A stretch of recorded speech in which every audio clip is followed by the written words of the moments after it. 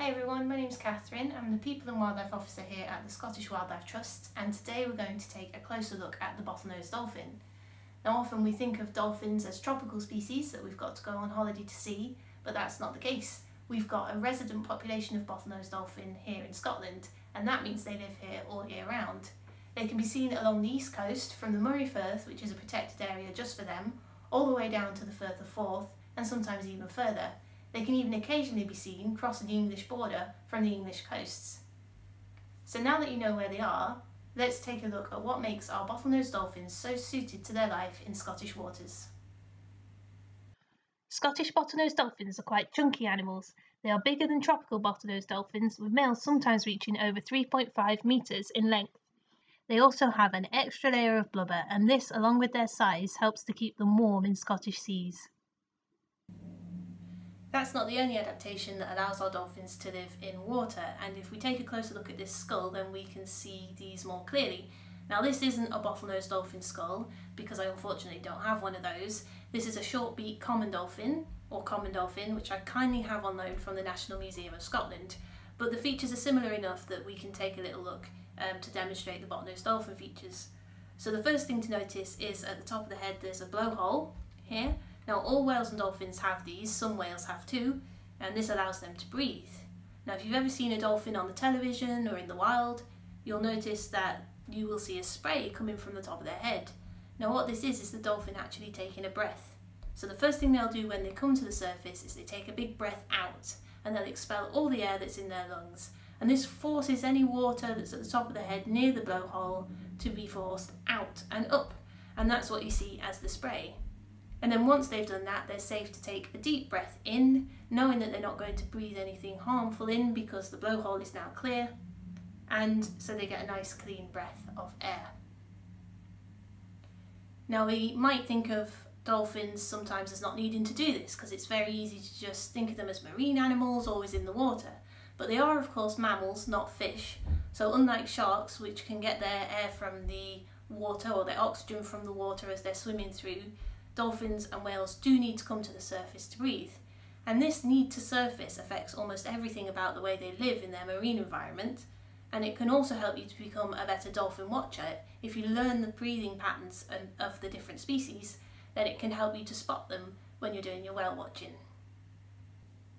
Now the next thing I wanted to point out was this part of the dolphin's skull, which is where the melon would be, this is a structure that allows the bottlenose dolphins to do something incredibly important, which is to echolocate.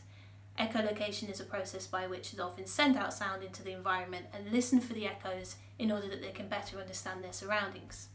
Now it's quite a complicated process and it's still being studied to fully understand how that works, but essentially what the dolphin does is it makes sounds inside its head using structures like phonic lips and it sends those out through the front of its head through the melon.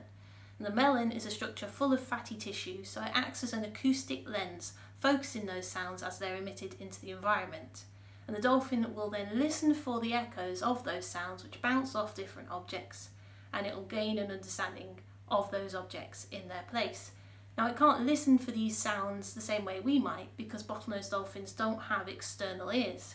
So what actually happens is when the sounds bounce off the objects They'll come back through the lower jaw of the dolphin all the way through to the inner ear.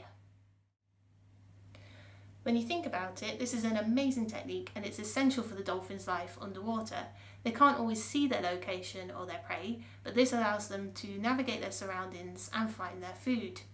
And they're so good at it that they can even detect targets up to 100 metres away. So the last thing I wanted to talk to you about is the dolphin's teeth. Now just to remind you, this is not a bottlenose dolphin skull, but it is similar enough for me to illustrate.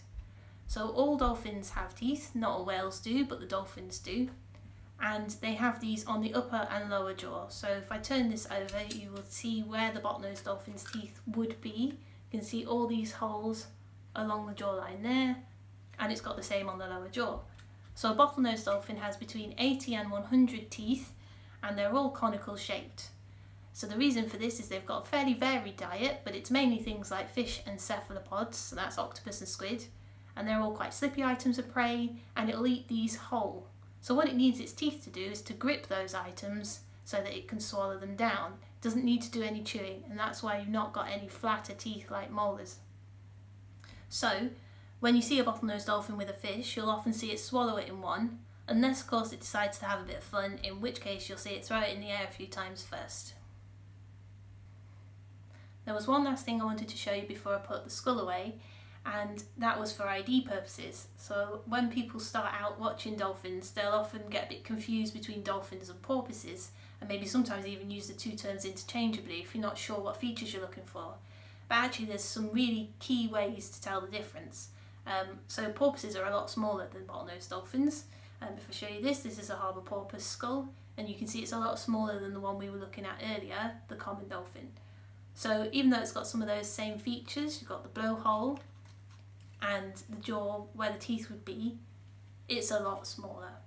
Also the behaviour of the species is different, so harbour porpoise are quite shy, they're not as gregarious as the bottlenose dolphin, and they move through the water very differently. So when you're watching them, you'll often only see a small part of their back and their little triangular fin coming out of the water before they're back down again. So if you're seeing animals in a big pod jumping out of the water and they're quite large, then you're probably looking at bottlenose dolphins. There is one other amazing adaptation for water which I wanted to talk about, and that's reproduction. As we've seen, bottlenose dolphins are mammals, and that means they give birth to live young. When you think about it, giving birth to a baby in water could be problematic. So how do they do this? The answer is that unlike terrestrial mammals, dolphins give birth to their young tail first. This means that the blowhole of the baby, or calf, is only in the water at the very last stage of the birth, reducing the chances of the baby drowning. Once the calf is born, the mother or nearby female will immediately push it to the surface so that it can take its first breaths. The calf will then stay alongside mom and will feed on the fat-rich milk that she produces, helping it grow. Calves start to learn to feed for themselves at around 18 months, but they stay with mom for up to 5 years. You can often spot the calves quite easily if you're watching a pod of dolphins. Apart from being much smaller, they're lighter in colour.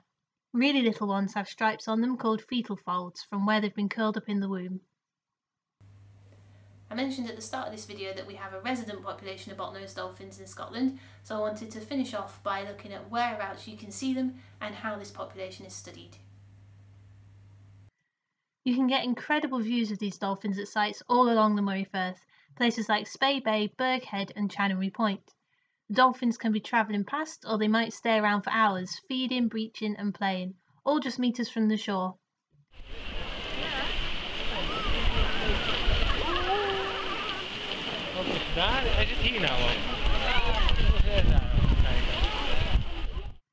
Another brilliant place to see the dolphins is Torry Battery in Aberdeen. The dolphins are here almost every day, and I know that because there are dedicated volunteers with WDC Shorewatch who see them there, even on Christmas Day. Again, you can see the dolphins for hours at a time, playing and bow riding as the big boats come in and out of the harbour. And finally, my last top spot for watching the bottlenose dolphins along the east coast of Scotland is the Firth of Forth, from the Fife and East Lothian coasts. There are around 200 bottlenose dolphins in this population and researchers study them using a non-invasive technique, photo ID.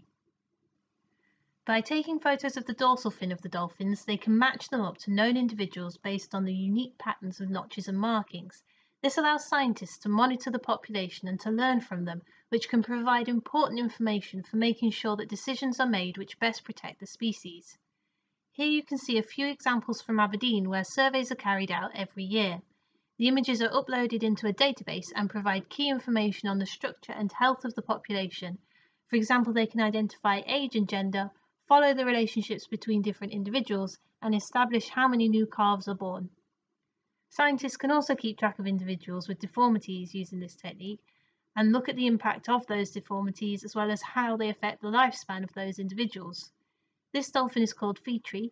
You can see she has a deformity of the spine called scoliosis. Despite this, she copes very well and is able to feed and socialise along with the rest of the pod. I hope you've enjoyed learning a little bit more about bottlenose dolphins. We are so lucky to share our Scottish coast with these animals.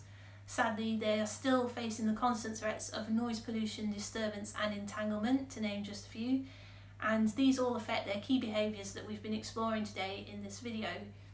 The Moray Firth is a special area of conservation. That's a type of marine protected area with a high level of protection and it's essential for this species as is the ongoing conservation work which helps to reduce the impacts of these threats. I'd like to say a special thank you to the teams at WDC Scottish Dolphin Centre and WDC Shorewatch volunteers for getting me introduced into the wonderful world of dolphin watching. If you would like to find out more about Scotland's dolphins and how you can protect them, do check out their website and maybe even consider becoming a Shorewatch volunteer. You can find out more about Scotland's wonderful marine wildlife and the marine conservation work of the Scottish Wildlife Trust by checking out our Living Seas pages on our website.